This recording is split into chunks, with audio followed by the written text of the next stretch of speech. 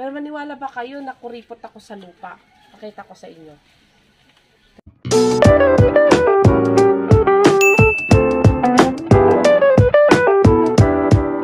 Magandang araw sa lahat. May adlo sa Tananog Marjon, adlo sa Zunhurot, mga kaibigan, dudungog inday dyan. So, bago pa lang sa aking channel, please subscribe at mag-like kayo at mag-iwan kayo ng message kung anong pwede yung suggestion dito na pwede nating gawan ng vlog. Ayan. So, ngayon, isa na rin to sa mga tanong na marami sa wall ko. Anong sikreto ko sa kalateya ko kung bakit ang lalaki ng dahon niya? gagawin natin, nakita niyo yung kalateya sa likod ko, isa-isahin natin kung paano ko sila inalagaan. Ayun nga, paano ko sila inalagaan? Nag-isip pa yun, no? Kasi andito yung kalateya ko, oh. Ang lalaki talaga. Bigyan laki ng dahon niya. Samantala, nung dumating to sa akin, maliliit lang. So, yung puti-puti na yun. Mamaya explain ko sa inyo kung anong nangyari. Kung makita niyo yung mga kalateya ko, nung nag-start ako, ganito lang to kaliliit. Ayan. Ito siya ngayon, oh. Mananampal na to. Mananampal na siya sa laki niya, oh. Ito po yung original niya na mother. Yan. Ganito lang yung mga mother niya noon. Andyan pa rin sila sa gitna. Mas maliit pa po kasi ito yung mother niya, eh. Siyempre, ang kalateya po katagalan, yung isang puno na yan, mauubos at mamamatay rin po yan, matutuyo rin yan, magkakaroon ng bagong suloy. So, ito yung original. Mas maliit ang dihamak sa ganito. So, kaya maraming nagtataka kung paano ko sila napalaki ng ganyan. Ayan, may sakit. So, paano ba ang gagawin natin pag aano? Ang una kong gin gaga ah, ang una ko ipapakita sa inyo, pag ganitong may sakit na sila, anong ginagawa ko? Tulad nito, may sakit po to. Kailan ko lang to napansin. Ayan. Hindi ko po alam ang sakit nila. Pero ayan. Lahat po sila. Ito naman, um, kinakain ng tipaklong. So, kanina ko lang to siya na-sprayhan. Tsaka ko naisip, mo nga pala, ba't ko in-sprayhan agad? So, ito yung mga original yan dahon. Ito, oh. Ito yung original, oh. Ayan, oh. Hindi pa naalis yung mga tirang dahon. Ito. Ayan, oh. Nasa gitna talaga. Yan, yan. Ito lang yung kaliit. Pero tingnan nyo yung sumunod, oh. So, pag may ganyan may sakit na sila ginagawa ko, nag-spray ako ng detain. Tulad dito, di ba nangilaw-ngilaw to? Ayan. So, nag-spray ako ng detain. Pinili ko lang naman yung i-sprayhan ko. Tapos ito, mga ano ng kaano to, tipaklong. Yan yung mga original ko kalateya. Original, I mean, talagang nag-start sa akin. Katulad nito, nung binili ko tong bitata na to. What? Andyan pa sa ilalim yung mga original niya na mother ko. Mother ko. Mother niya talaga. Ito yung mga original, oh. Ayan, oh. Ito. Ito yung mga una, no. Nung binili ko pa nga to, yan lang, mga limang dahon na yan. Nagkahalaga na siya ng 450 ata ito. O, 450 or 500. Yan. Tapos nagulat ka, naging ganito na yung dahon. Ay, di ba nakakatuwa lang? Nandyan pa rin yung mga original nila ng mga dahon. Tapos, si Dottie natin. Wala, nung nakarang vlog ko, tinanggal ko na yung mga dahon niya. Ito, dalawang dahon ko lang to nabili. Wala na ata yung mga, ayan oh, yan yung pinakamother, wala ng dahon. Yan. So, ayan, napalaki na ng palaki. Ito lang, hindi ko rin alam kung paano sila lumaki ng ganyan. Kaya ang gagawin ko, ipapakita ko na lang sa inyo kung paano yung alaga ko sa kanila. Kasi sa malamang yun rin ang dahilan kung bakit lumaki sila ng ganyan. So, katulad nito, ayan na yung mga nagiging ano niya, oh, ngayon dahon. Ang lalaki na. Samantala dati maliliit lang.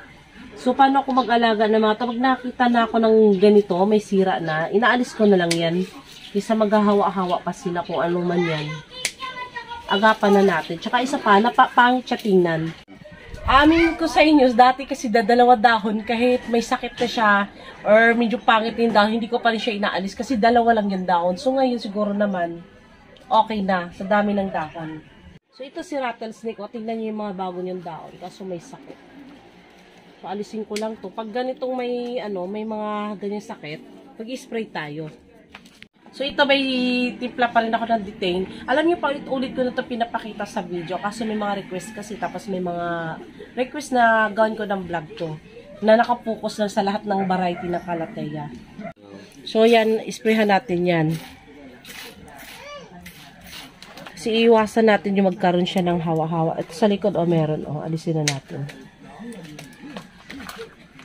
Tapos pag may nakita kayo may mga kagat-kagat ng ganyan, pwede na isprayhan yan. Yan yung oh, kung gaano sila magtabas, ang gagaling.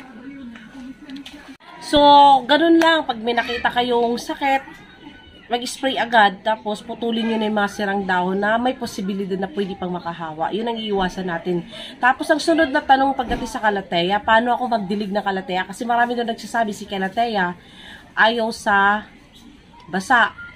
So, ang ginagawa ko po, araw-araw po ako nagdidilig ng ano, kalateya.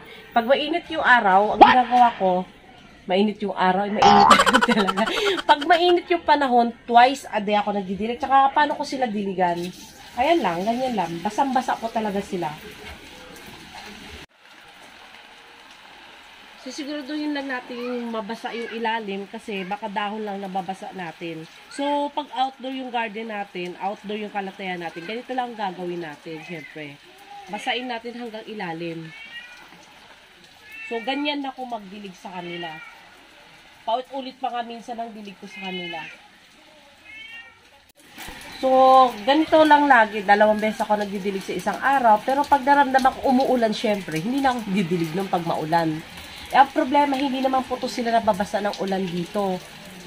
So, ang ginagawa ko, pag basa pa yung lupa, pwede. Pero kung umulan, tapos pagtingin ko sa lupa nila mismo, sa mga pots, dry, kahit umuulan po, nagdidilig ako sa kanila.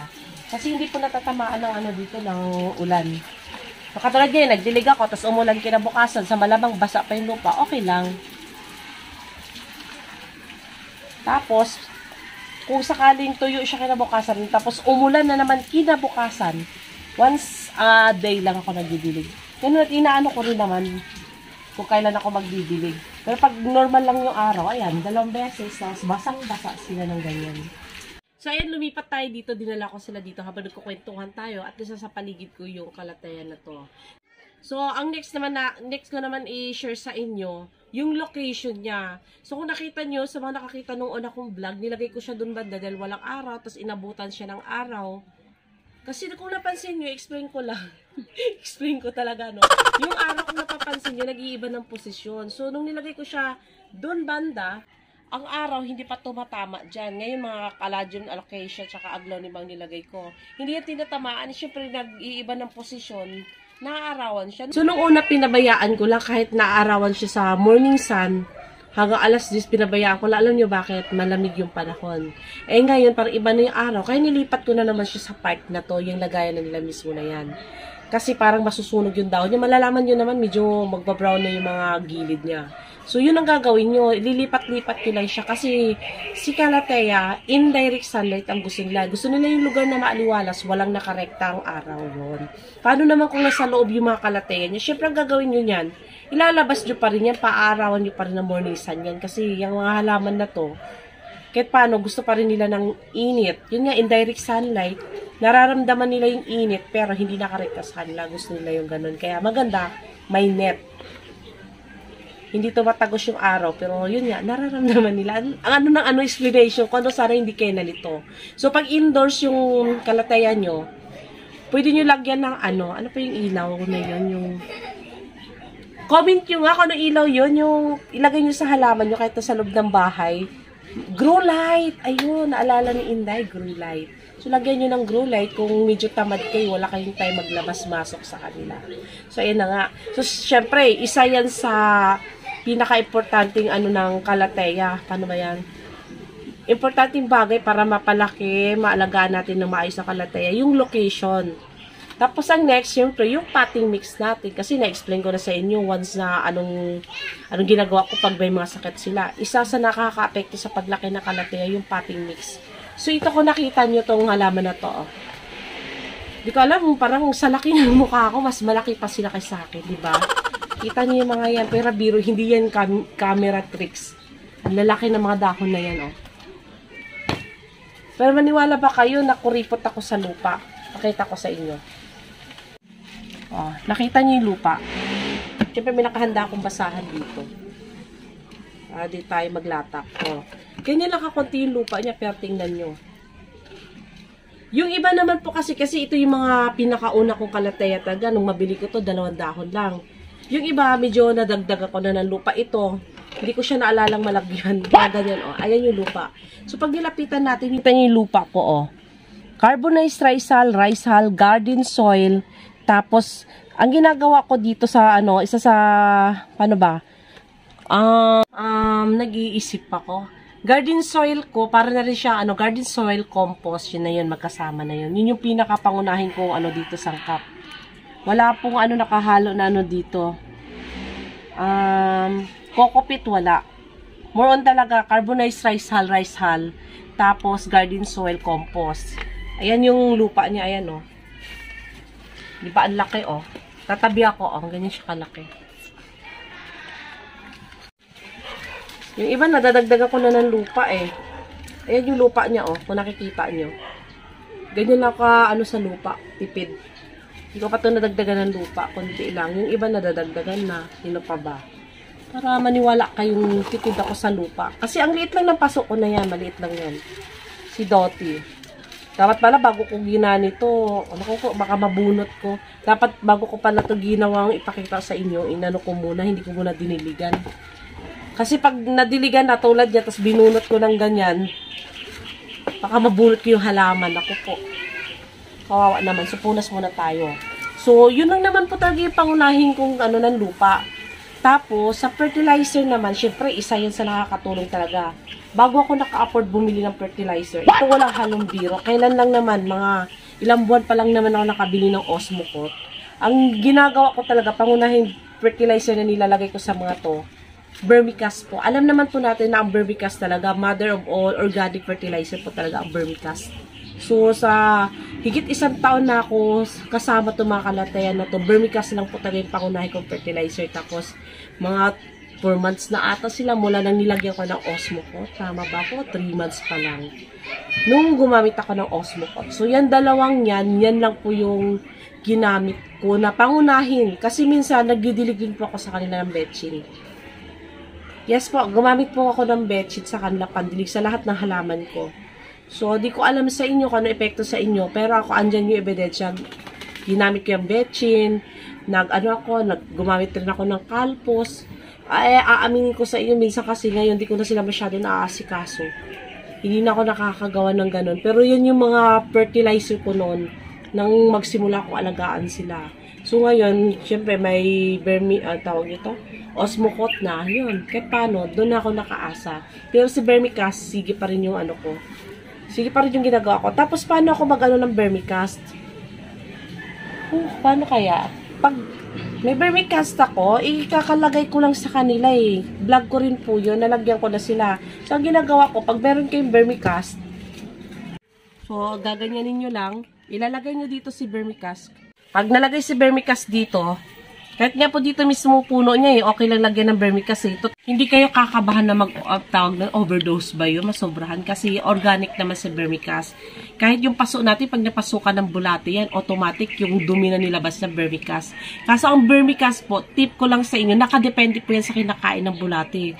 Kaya kung nag-aalaga kayong ANC, pinapakain nyo ng dumi ng baka, um, sagana sila sa nitrogen, So, maganda yung vermicast na ipoproduce nun. Pero paano kung yung bulate, di ba may mga nakita kayo parang putik-putik na lumalabas? Vermicast po yun. Kaso ang kinakain naman nun, anong kinakain ng bulate na yun?